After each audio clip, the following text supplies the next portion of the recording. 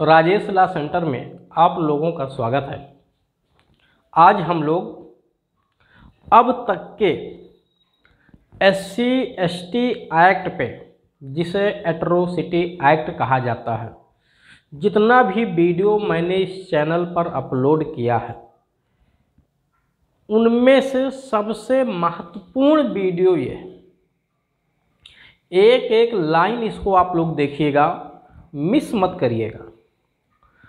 जो लोग तैयारी कर रहे हैं कंपटीशन की, अगर वो न्यायिक सेवा की तैयारी कर रहे हैं और कहीं सिलेबस में है तो उनके लिए जो बच्चे सिविल सेवा की तैयारी कर रहे हैं, जो लोग प्रैक्टिस कर रहे हैं वो किसी भी कोर्ट में कर रहे हो, चाहे लोअर कोर्ट में हो, चाहे हाई कोर्ट में हो इवन सुप्रीम कोर्ट में। और जो लोग S C S T act लगाए जाने से पीड़ित हैं, या जो लोग S C S T act के तहत एफ़ आई आर दर्ज करवाते हैं। यानी कहने का मतलब ये है कि सभी लोगों के लिए जो डायरेक्ट या इनडायरेक्ट इस प्रोविज़न से जुड़ा हुआ है, चाहे वो कंपटीशन का बच्चा हो, चाहे वो व्यक्तिगत पीड़ित लोग हो, या जो लोग एस सी एक्ट के तहत अपराध दर्ज करवाते हैं, यानी अनुसूचित जाति एवं जनजाति के समाज के जो लोग हैं, पूरे अनुसूचित जाति एवं जनजाति अत्याचार निवारण अधिनियम उन्नीस सौ नवासी का ये निचोड़ है।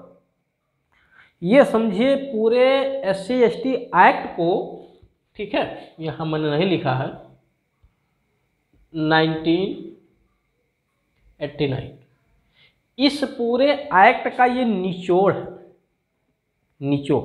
समझिए ये पूरा एक्ट एक नींबू है, और मैंने क्या किया है, उस नींबू को गार के जूस बना दिया। पूरे अधिनियम का निचोड़ है। जितनी महत्वपूर्ण चीज़ें हैं उन सबको निकाल लिया हूँ और इस वीडियो के माध्यम से एक एक चीज़ें आपको बताऊँगा। शायद कोई इस तरह से आपको बताएगा नहीं। और बताएगा तभी जब उसको ज्ञान होगा। तो आइए हम लोग देखें कितने लगभग चौदह पंद्रह भागों में मैंने बांटा है इसको।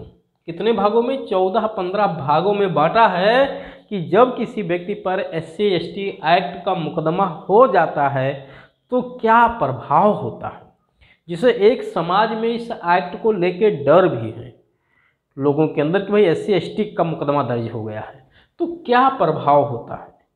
ठीक है, इसके क्या प्रभाव होते हैं? कितने अच्छे प्रभाव हैं, कितने बुरे प्रभाव हैं? मतलब कि कितना डर है, कितना इसके लगने पे दर्द होता है, कितना दर्द नहीं होता है, यानी सारी बातों को इसमें बताया हूँ मैं। आइए एक एक को मैं समझाता हूँ। हाँ इसको समझने के बाद कभी ये मत कहिएगा कि हम इस एक्ट का फर्जी दुरुपयोग करेंगे या इस समाज के लोगों को फर्जी तरह से परेशान करेंगे, क्योंकि इसका हमारे पास काट है। नहीं, बिना विनम्र निवेदन है सभी लोगों से, कभी भी इस एक्ट का ना तो इस समाज के लोग और ना ही जो अन्य समाज के लोग हैं, कोई भी इसका मिसयूज ना करें। ठीक है, जो कानून है, कानून गलत होने पे अपने हिसाब से काम करता है, उसको अपने हिसाब से काम करने देना चाहिए। यही न्याय है। क्योंकि संविधान में सबको समानता का दर्जा दिया गया है। संविधान में सब लोग बराबर हैं। ठीक है? संविधान के आधार पे व्यक्तियों में कोई भेदभाव नहीं किया गया है। सब इंसान हैं। तो सब इंसान है, उसी इंसानियत का दर्जा न मिलने की वजह से ही इस एक्ट को भी बनाया गया। ठीक है कि वो इंसानियत का जो दर्जा है, वो बना रहे। तो आइए हम लोग एक एक करके देखते हैं। हाँ एक और आप लोगों की खुशखबरी है कि हमारे यहाँ केवल इस तरह के वीडियो ही नहीं बनाए जाते हैं, बल्कि पी सी एस जे की एच जे एस की या ए पी ओ की, यानी न्यायिक सेवा की तैयारी भी कराई जाती है। जो लोग एल एल बी कर रहे हैं या कर चुके हैं, वो आगे भविष्य में क्या करें, इस नंबर पे संपर्क कर सकते हैं। उनको सही गाइडेंस दिया जाएगा। और जो लोग पी सी एस जे या एच जे एस या ए पी ओ के बारे में पहले से जानकारी रखते हैं, वो इस नंबर पर संपर्क करके क्लास ज्वाइन कर सकते हैं। हमारे यहाँ ऑनलाइन क्लास की भी व्यवस्था उपलब्ध है, ऑफलाइन क्लास की भी व्यवस्था उपलब्ध है। आप अपनी सुविधानुसार जो है क्लास ज्वाइन करके, लॉ का अधिक से अधिक ज्ञान अर्जित करके अपने सपने को साकार कर सकते हैं। आइए, सबसे पहले मैंने यहाँ पे लिखा है कि एस सी एक्ट उन्नीस सौ नवासी, यानी उन्नीस सौ नवासी का ये कानून है, मैंने लिखा, लगाए जाने का प्रभाव, यानी इस एक्ट के लगाए जाने का क्या प्रभाव होता है? सबसे पहले मैंने लिखा, राहत राशि का प्रावधान। जब ये एक्ट किसी व्यक्ति पर लगाया जाता है, यानी इस अधिनियम के तहत एफआईआर दर्ज होता है तो उसे एक निश्चित रकम, एक निश्चित अनुपात में, ठीक है, प्रदान किया जाता है, जिससे वह व्यक्ति अपने केस को लड़ सके और अपनी आजीविका को चला सके। ये राहत राश किसी को धनवान बनने के लिए नहीं दिया जाता है, बल्कि उस समाज के लोगों को दिया जा रहा है, जो सदियों से ही आर्थिक वो सामाजिक, आर्थिक और राजनीतिक रूप से पिछड़े हुए हैं। हाँ यद्यपि बहुत लोग आगे हो गए हैं, लेकिन एक लोग, दो लोग अगर आगे हो गए हैं, कुछ सीमित लोग आगे हो गए तो इसका ये मतलब नहीं कि पूरा समाज अभी जो है विकास के मुख्य धारा में आ गया। नहीं, ये बात अभी नहीं कही जा सकती है। तो राहत राशि का प्रावधान है, कितनी राहत राशि मिलती है? ठीक है, आठ लाख, साढ़े आठ लाख रुपए तक का मैक्सिमम देने का प्रावधान है, नौकरी तक दिए जाने का प्रावधान है। ठीक है, एफआईआर दर्ज होने पे कुछ परसेंटेज मिलता है, कुछ चार्जशीट पेश होने पे मिलता है, रेप की दशाओं में मेडिकल लगाए जाने पे मिलता है, मामला कुछ दशाओं में डिसाइड होने पे मिलता है, कुछ दशाओं में जो है दो सिद्धि पे मिलता है। तो अलग अलग कंडीशंस हैं। मैंने अलग अलग वीडियो जो है इस पर बना रखा है। इस पर अलग अलग यानी राहत राशि कब किसमें कितना मिलता है, किस धारा लगने पे कितना पैसा मिलता है, ये आप लोग खुद वहाँ से जाके देख सकते हैं कि सर ये धारा हमारे ऊपर लगी है या मैंने लगवाई है तो इसमें कितनी राहत राशि मिलती है।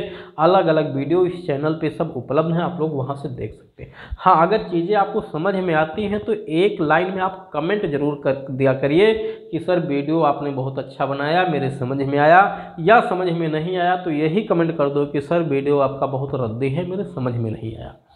चलिए, दूसरा उपचार क्या है? अपराध संज्ञेय होगा। यानी सारे के सारे अपराध क्या होंगे? जब S C S T act अगर किसी व्यक्ति पर लग जाता है तो सारे अपराध कॉग्निजेबल हो जाते हैं। जो अब बहुत सारे लोग, जो गाँव, ग्रामीण के हैं, जो नहीं पढ़े लिखे वो नहीं जानते हैं संज्ञेय क्या होता है। दो तरह के अपराध होते हैं संज्ञेय एवं जमानतीय और असंज्ञेय एवं आजमानतीय यानी जो अपराध गंभीर होते हैं, उनको संज्ञेय कहलाता है, इंग्लिश में कॉग्निजेबल, और जो कम गंभीर होते हैं, उनको नॉन कॉग्निजेबल कहा जाता है, और जो गंभीर हैं, उन्हें वो नॉन बैलेबल होते हैं, यानी आजमानतीय होते हैं, जो कम गंभीर अपराध होते हैं, उनको जमानतीय कहते हैं बैलेबल कहते हैं। तो अपराध संज्ञेय होगा, यानी संज्ञेय अपराध होने पे क्या होता है कि आईपीसी की कोई भी धारा लगी हो, इससे मतलब नहीं है। अगर एस सी लग गई तो पुलिस अधिकारी को बिना वारंट के, यानी मजिस्ट्रेट के, बिना आदेश के ही गिरफ़्तार करने की पावर है उस आरोपी को, और इन्वेस्टिगेशन यानी विवेचना करने की पावर है, ठीक है? तो ये दो पावर प्रमुख पुलिस अधिकारी को मिल जाता है और एफआईआर दर्ज करने की पावर है। तो एफआईआर दर्ज करने की पावर, बिना वारंट के गिरफ़्तार करने की पावर और विवेचना करने की पावर। ये तीन पावर पुलिस अधिकारी को अपने आप मिल जाती है। इसमें मजिस्ट्रेट से कोई आदेश या कोई परमिशन लेने की ज़रूरत बिल्कुल नहीं होती है। यद्यपि संज्ञेय एस सी एक्ट के तहत एफआईआर दर्ज करवाने पे भी पुलिस वाले खुद से एफआईआर नहीं दर्ज करते हैं, जबकि पूरा का पूरा संज्ञेय अपराध है, इनको दर्ज करना चाहिए। ठीक है? कभी कभी लोग नहीं भी करते हैं, परेशान करते हैं।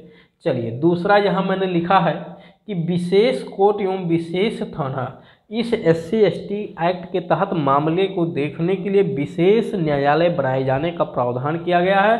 अलग से एस सी कोर्ट बनाया जाता है। लगभग लगभग वर्तमान में हर ज़िले में आपको स्पेशल एस सी कोर्ट मिलेगा, जो सत्र न्यायालय के समकक्ष होता है। इसी तरह से विशेष थाना भी बनाए जाने का प्रावधान है। ये सब धारा चौदह में विशेष कोर्ट और धारा नौ में स्पेशल थाना बनाए जाने का प्रावधान है। ठीक है कि राज्य सरकार चाहे तो स्पेशल थाना भी बना सकती है। जैसे कहीं कहीं आपको मिल जाएगा, बिहार वगैरह में मिल जाएगा, अलग से एस सी थाना भी आपको मिल जाएगा। तो आप सीधे अपना मामला वहीं ले जाकर के शिकायत दर्ज कराइए। जैसे महिला थाना आप देखते हैं, महिला को कोई दर्द, पीड़ा है तो अपनी शिकायत वो महिला थाना में ले जाए। उसी तरह से एस सी को कोई दर्द, पीड़ा है तो वो अपनी दर्द, पीड़ा वहाँ जाके बयां करे एस सी थाने पे।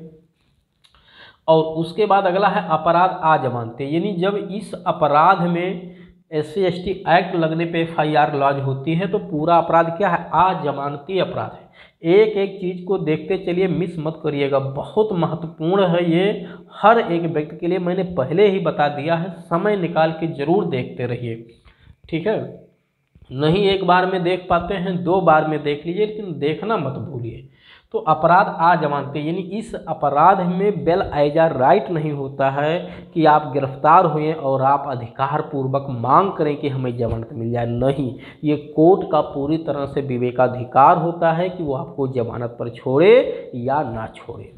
ठीक है हाँ अब इसी में मैंने बताया है, अलग से वीडियो बने हुए हैं कि एस सी एक्ट लगने पर जमानत कब होती है, कब नहीं होती है, क्योंकि मामला अगर गंभीर है तब तो बेल नहीं मिलती है, ठीक है कोर्ट बेल नहीं देती है लोअर कोर्ट खारिज कर देती है हाई कोर्ट से भी जल्दी नहीं मिल पाता है। लेकिन अगर मामला कम गंभीर है तो अक्सर बेल लोअर कोर्ट से भी मिल जाता है। तो इस पर भी अलग से वीडियो बना हुआ दूसरा है जिला बदर। यानी जब किसी व्यक्ति पे ये संदेह होता है कि वो एस सी एक्ट के तहत अपराध करने वाला है, ऐसे जगहों पे जहाँ इस समाज के लोग रहते हैं तो जिला न्यायालय न्यायालय के सामने यानी एस सी कोर्ट को ये पावर मिला हुआ है कि उस व्यक्ति को जिला बदर कर सकता है, यानी उस ज़िले से दूसरे ज़िले में भेज सकता है कि आप उस ज़िले में नहीं रह सकते हो। ठीक है, जिस पे संदेह हो कि वो अपराध करेगा। और अगर वो इस आदेश का उल्लंघन करे, न्यायालय का, यहाँ डीएम को पावर नहीं है, ध्यान रखिएगा। डीएम को पावर तब मिलेगा जब गुंडा एक्ट लगे। और अगर उस न्यायालय के आदेश का उल्लंघन किया जाए तो इसमें सजा का प्रावधान है, धारा तेरह में एक साल तक का सजा प्लस जुर्माना का प्रावधान किया गया। दूसरा है अपराध असमनीय अपराध, यानी इस अधिनियम के तहत यानी एस सी एक्ट लगने पे अपराध में समझौता नहीं हो सकता है। यद्यपि इसका काट लोगों ने निकाल रखा है, लेकिन लीगली तौर से आप कोर्ट के माध्यम से इसमें समझौता नहीं कर सकते हैं। आईपीसी का केवल अपराध का आरोप हो तो कंपाउंडेबल है, समझौता हो सकता है, लेकिन असमनीय अपराध है, यानी समझौता योग्य नहीं है। इसमें हम लीगली समझौता नहीं कर सकते हैं। लेकिन अब लोग व्यवहार में इसका काट निकाल रखे हैं कि पार्टी को समझौता कर लेते हैं, पैसा दे करके, मान मनोबल करके जैसे भी पार्टी सहमत हो जाए तो वो अपने बयान को वापस ले लेते हैं। बयान को वापस ले लेंगे, गवाही देंगे, नहीं, मामला कमज़ोर हो जाता है, ख़त्म हो जाता है। लेकिन लीगली तौर से जो समझौता का प्रावधान है, उसके तहत समझौता योग्य एस सी के तहत होने वाले अपराध नहीं आते। अगला है 360 की प्रोसीडिंग। एस सी एक्ट लगने पर अगर कोई व्यक्ति दोषी हो जाता है तो इस सीआरपीसी की धारा 360 मैंने यहाँ लिखा है। दोषी हो जाने पे 360 में एक प्रावधान है कि उस व्यक्ति को डांट डपट के छोड़ा जा सकता है, बिना सजा दिए। या कुछ दशाओं में उसे परिवीक्षा पे छोड़ा जा सकता है अधिकतम तीन साल के लिए। जो सज़ा का प्रकार नहीं होता है यदि उसको जेल नहीं भेजा जाता है, छोड़ दिया जाता है, घर पे आ जाता है आदमी, कुछ शर्तें लगा दी जाती हैं कि कोई अपराध वगैरह नहीं करेगा, कुछ समय तक शांति बनाए रखेगा। तो ये 360 की कार्रवाई S C S T act लगने पे नहीं हो सकती। यानी अगर तीन S C S T act लगने पर आप दोषी पाए जाते हैं तो सज़ा आपको निश्चित तौर से दी जाएगी। अब मिनिमम सज़ा छः महीने ज़रूर है, ध्यान रखिएगा। यानी अगर S C S T act का कोई दोषी हुआ तो छः महीने जेल ज़रूर रहेगा। लेकिन अगर वो कोई ऐसा व्यक्ति है, जिसकी उम्र अट्ठारह वर्ष से कम है ठीक है? महिला नहीं अट्ठारह वर्ष से कम आयु का कोई भी व्यक्ति हो, चाहे वो महिला हो या पुरुष तो 360 के तहत उसे बिना सजा दिए भी छोड़ा जा सकता है। चलिए, और कोई चीज़ विशेष जानकारी लेना तो आप इस नंबर पे संपर्क करके, ठीक है, विशेष जानकारी प्राप्त कर सकते हैं। दूसरा, पूर्व दो सिद्धि, पूर्व दो सिद्धि के बारे में लिखा हुआ है कि अगर कोई व्यक्ति इस अधिनियम के तहत एक बार दोषी हो गया है अगर कोई व्यक्ति इस अधिनियम के तहत एक बार दोषी हो गया है और दोबारा फिर वो इसी अपराध के लिए दोषी होता है, इस अधिनियम के तहत किसी अपराध के लिए दोषी होता है तो कम से कम उसे एक साल की सज़ा तो दी ही जाएगी। फ़र्स्ट टाइम पे मिनिमम सज़ा छः महीने है कम से कम छः महीने। बहुत सारी धाराएँ जिसमें सजाएँ ज़्यादा हैं। लेकिन सेकंड टाइम पे अगर कोई व्यक्ति इस अधिनियम के तहत दोषी पाया गया तो मिनिमम सजा एक साल प्लस जुर्माना भी है। ये धारा तेरह कहती है एस सी एक्ट की। ओ सॉरी धारा पाँच कहती है ये बात, ठीक है? एक वर्ष तक का मिनिमम कारावास प्लस जितना भी उस अपराध के लिए सजा है, उतनी तक भी दी जा सकती है। दूसरा, उपधारणा। बहुत महत्वपूर्ण। यहाँ कोर्ट को कुछ चीज़ों को प्रिज्यूम करने की पावर है। मान लेगा कोर्ट साबित करने की ज़रूरत ही नहीं है पार्टी को। गवाही देने की ज़रूरत ही नहीं है। कोर्ट खुद मान लेगा ये बात सही है। जैसे अगर किसी व्यक्ति ने एस सी के खिलाफ अपराध करने के लिए किसी दूसरे व्यक्ति को कोई सहायता दिया है, कैसा आर्थिक सहायता, पैसे से सहायता किया है तुम परेशान ना हो, हम तुम्हारा काम देख लेंगे। जाओ उसको मारपीट दो। मतलब कि आर्थिक सहायता दे करके किसी व्यक्ति से आपने इस समाज के लोगों के विरुद्ध कोई अपराध करवाया है? अगर ये बात साबित हो गई कि आपने पैसा दिया है, मारने के लिए नहीं कहा था, लेकिन पैसा दिया है और उस पैसा देने से वो व्यक्ति अगला अपराध किया तो माना जाएगा कि आपने उस अपराध के किए जाने का दुष्प्रेरण किया है। अब ये दुष्प्रेरण क्या होता है? अगर ऐसी कोई बात आएगी तो आप वीडियो में इस नंबर मैंने पहले दे दिया है, आप यहाँ से जो है संपर्क करके विशेष जानकारी ले सकते हैं। बाकी जो लॉ के स्टूडेंट हैं, वो लोग इस बात को अच्छे से समझ रहे हैं। दूसरा, अगर कोई समूह में अपराध किया गया है, अगर कोई समूह में अपराध किया है लोगों ने और पहले से कोई सांपत्तिक विवाद चल रहा है। घर को लेकर, ज़मीन को लेकर के कोई पहले से विवाद चल रहा है एस सी और अन्य समुदायों के बीच में और समूह में कई लोगों ने हमला किया है, मारा पीटा है, गाली गलौज किया है। तो ये माना जाएगा कि सब लोगों ने सामान्य आशय से वो कार्य किया है। या सामान्य उद्देश्य से वो कार्य किया है। यानी धारा चौंतीस या धारा एक सौ उनचास का प्रिजम्सन कर लिया जाएगा। अब जो लोग पढ़े हुए हैं, वो इस बात को अच्छे से समझते हैं, यानी सब के सब लोग बराबर सजा के भागी हो जाएँगे। दूसरा एक प्रिजम्सन ये है कि यहाँ पे कोर्ट ये मानेगी कि आपको ये पता है, बहुत महत्वपूर्ण पॉइंट है। यहाँ कोर्ट ये मानेगी कि आपको ये पता है कि अगला व्यक्ति अनुसूचित जाति या जनजाति का है। अगर आप कहते हो कि साहब मुझे ये नहीं पता है कि वो एस सी कास्ट का व्यक्ति है तो कोर्ट ये ये आपको साबित करना पड़ेगा। कोर्ट ये मानेगी कि वो एस सी कास्ट का व्यक्ति है। यानी यहाँ प्रिजम्सन चलता है, ध्यान दीजिएगा। कितनी महत्वपूर्ण पॉइंट है कि अगर कोई व्यक्ति ये कह देता है कि साहब हम अनुसूचित जात जनजाति के हैं और ये चार्जशीट बन गई, अगला कहता है कोर्ट में जा कर के, साहब, मुझे नहीं पता था ये एस सी समाज के हैं। ठीक है? तो आपको ये साबित करना पड़ेगा कि ये एस सी समाज का नहीं था। मुझे इस बात की जानकारी नहीं थी। अगर नहीं साबित कर पाओगे तो मान लिया जाएगा कि आपको जानकारी थी और फिर आप इस अधिनियम के अधीन दोषी हो जाएँगे। चलिए, थोड़ी सी तबीयत ख़राब है। बहुत तेज़, तर्रार आवाज़ों में मैं नहीं बोल पा रहा हूँ। फिर भी चलिए, आप लोगों के लिए काम चलाऊ भाषा तो बोल ही रहा हूँ। उम्मीद है आप लोगों को समझ में भी बातें आ रही होंगी। आवाज़ हमारी थोड़ी सी भनभना भी रही होगी क्योंकि पिछले दो दिन से तबीयत ख़राब चल रही थी।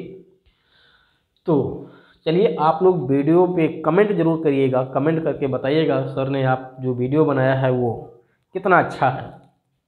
हाँ नहीं समझ में आएगा तो ये भी कमेंट कर दीजिएगा सर वीडियो बिल्कुल आपका ख़राब है। खैर चलिए, देखिएगा पूरा वीडियो ठीक है? फुर्सत का समय निकाल के देखिएगा, बहुत महत्वपूर्ण पॉइंट पूरे एक्ट का निचोड़ है, ठीक है? पूरे अधिनियम का निचोड़ है और हमारे यहाँ केवल यही चीज़ नहीं बताई जाती है, बल्कि कानून की तैयारी भी कराई जाती है पी सी एस जे की एच जे एस की ए पी ओ की तैयारी भी कराई जाती है। हमारे यहाँ से कई सारे बच्चे सेलेक्ट हो रहे हैं। आप लोग भी जो एल कर रहे हैं या कर चुके हैं या जो करने के लिए सोच रहे हैं, वो करें और ऑनलाइन क्लास ज्वाइन करके अधिक से अधिक ज्ञान अर्जित करके अपने सपने को साकार करें। आइए तो सारी जानकारी आपको इस नंबर पे मिलेगी। आप इस नंबर पे संपर्क करिए, आपको सारी जानकारियाँ दी जाएँगी। चलिए 360 आपने ये भी देख लिया, पूर्व दो सिद्धि मैंने बता दिया प्रिजम्सन भी बता दिया। अग्रिम जमानत नहीं। हाँ अगर एस सी एस एक्ट का मुकदमा आप पे लगने वाला है या लग चुका है तो अगर आप हाई कोर्ट या कोर्ट ऑफ़ सेशन में धारा चार सौ अड़तीस सी के तहत अग्रिम जमानत के लिए जाना चाहते हो कि बिना अरेस्टिंग हुए हमें जमानत मिल जाए तो ऐसा कोई प्रावधान नहीं है। अग्रिम जमानत आपको नहीं मिलेगी। यानी कुल मिला के आपको अरेस्ट होना पड़ेगा। यानी कोर्ट में आपको सरेंडर करना ही पड़ेगा। अगर अपराध कम गंभीर है तो आपको बाहर से बेल मिल जाएगा। मतलब कोर्ट में आप खड़े होंगे लाकअप में और उसी दिन आपको शाम तक वहीं से बेल मिल जाएगी। जेल नहीं जाना पड़ेगा। लेकिन यदि अपराध गंभीर है तो जेल तो जाना ही पड़ेगा। दूसरी बात, बिना कोर्ट में गए आप अगर सोचें घर बैठे हम जमानत करवा लें हाई कोर्ट से अग्रिम जमानत ले आए तो ऐसा कोई प्रावधान नहीं है। मना कर दिया गया है धारा अट्ठारह और अट्ठारह का पे। इस पे डिटेल से दो तीन वीडियो ऑलरेडी इस चैनल पे बनाया जा चुका है, जो आप लोग वहाँ से जाके देख सकते हैं। अगला, संपत्ति का संपहरण यार ये देखिए कितना महत्वपूर्ण सजा है।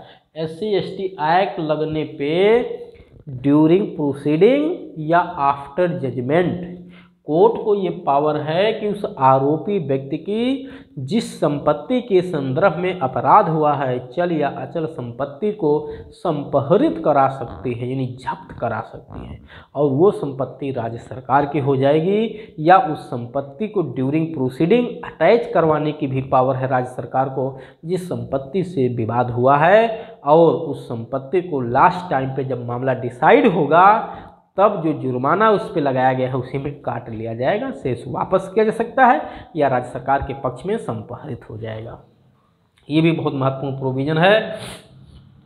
दूसरा, पूर्व मंजूरी। अगर किसी व्यक्ति पर S C S T act के तहत मुकदमा दर्ज होता है एफ़ आई आर दर्ज होती है तो वहाँ किसी से परमिशन लेने की ज़रूरत नहीं है। पुलिस अधिकारी को गिरफ़्तार करने की पावर है बिना वारंट के ही। वो बिना मंजूरी के ही गिरफ़्तार करने की पावर है। अगला है, एफआईआर दर्ज ना होने पर थानेदार पर एफआईआर। ये भी धारा चार में लिखा हुआ है कि यदि थानेदार एफआईआर नहीं दर्ज करता है, यदि थानेदार एफआईआर नहीं दर्ज करता है तो ये भी अपराध है और उस थानेदार पे धारा छः के तहत, धारा चार के तहत S C S T act के तहत मुकदमा दर्ज कराया जा सकता है, जिसमें मिनिमम छः माह का सज़ा है जो एक साल तक का हो सकता है। यानी एक छः महीने का कम से कम सज़ा थानेदार पर हो जाएगा, नौकरी चली जाएगी बेचारे की। तो एफ़ आई आर ना दर्ज करने पे, लेकिन आप साबित करिए कि साहब इन्होंने मेरी एफ़ आई आर नहीं दर्ज की है। तो आप ये करा सकते हैं और फिर मैंने कुछ और प्रोविज़न यहाँ लिखा है। हाँ इस अधिनियम के तहत देखिए, ये बहुत मोटी मोटी बातों को मैंने बताया। है अभी कुछ तो और माइन्यूट चीज़ें हैं जो छूट गई हैं, जो यहाँ बताना संभव नहीं था कि जब इस अधिनियम के तहत एफआईआर दर्ज होता है तो उसका जो विवेचना है, वो एसआई नहीं करता है, यानी दरोगा नहीं करता है। कौन करता है? सीओ को पावर होता है, जिसको डिप्टी एसपी कहते हैं। ठीक है, डिप्टी एसपी कोतवाल से भी बड़े रैंक के ऑफिसर होते हैं वो। ठीक है गजेटेड पुलिस ऑफिसर होते हैं, डिप्टी एसपी, ठीक है, जिला उपाधीक्षक जिसको कहते हैं, ठीक है, जिसको हम व्यवहार में सीओ भी कहते हैं, सर्किल ऑफिसर भी कहते हैं, क्षेत्राधिकारी, उनको पावर होती है विवेचना करने की। दूसरा, यानी वही के यहाँ आपको जाना पड़ेगा, वही विवेचना इस मामले की करेंगे, वही रिपोर्ट कोर्ट में पेश करेंगे। फिर यहाँ आईपीसी की कुछ धाराएँ और कुछ अध्याय लिखे हुए हैं, जैसे आईपीसी का अध्याय तीन अध्याय, चार अध्याय, पाँच अध्याय, पाँच का अध्याय तेईस जिसके प्रोविजंस आईपीसी यहाँ एस सी एक्ट पे भी लागू होते हैं, और धारा चौंतीस, धारा एक सौ उनचास, ये भी लागू होता है। यानी यहाँ से यहाँ तक अध्याय है, और ये दो चैप्टर है। सॉरी हाँ ये दो सेक्शन है। यानी आईपीसी का फिर से समझिएगा, हो सकता है थोड़ा सा लाइट चली गई थी बीच में तो दिक्कत हुई होगी आप लोगों को। आईपीसी का अध्याय तीन, यानी दंड के प्रकार की बात करता है। चार जनरल एक्सेप्शन पाँच, दुष्प्रेरण। पाँच का आपराधिक षडयंत्र। तेईस, आपराधिक प्रयत्न। की बात करता है, अगर इस अधिनियम के तहत भी कोई व्यक्ति अपराध करेगा तो सज़ा का नियम वही चलेगा जो आईपीसी के अध्याय तीन में है। जनरल एक्सेप्शन में अगर कोई व्यक्ति आता है तो उसको बचाव मिलेगा। पाँच दुष्प्रेरण कोई करेगा तो वो भी दोषी होगा। पाँच का कोई आपराधिक षडयंत्र करेगा, इन दो चार लोग मिलकर सहमत होते हैं। एस सी के तहत अपराध करने के लिए तो इन पर भी एक केस बनेगा। और तेईस, अगर कोई व्यक्ति एस सी एक्ट के तहत अपराध करने का प्रयत्न करता है तो भी ये अधिनियम उस पर लगेगा। और धारा चौंतीस, एक सौ उनचास, सामान्य आशय और सामान्य उद्देश्य का भी नियम लागू होता है। ये बात कहाँ लिखी है? धारा छः में एस सी एक्ट में लिखी हुई है। तो मैंने कोशिश किया आप लोगों को, ठीक है, अपनी तरफ़ से बेहतर तरीके से समझाने के लिए, जैसा कि स्वास्थ्य बहुत ठीक नहीं है मेरा, फिर भी मैंने कोशिश किया आप लोगों को बेहतर तरीके समझाने के लिए, पूरे एस सी एक्ट का प्रभाव बताया कि जब ये अधिनियम लागू होता है तो इसका प्रभाव क्या होता है, ठीक है, मैं मेन मेन प्रभाव को यहाँ पे बता दिया हूँ।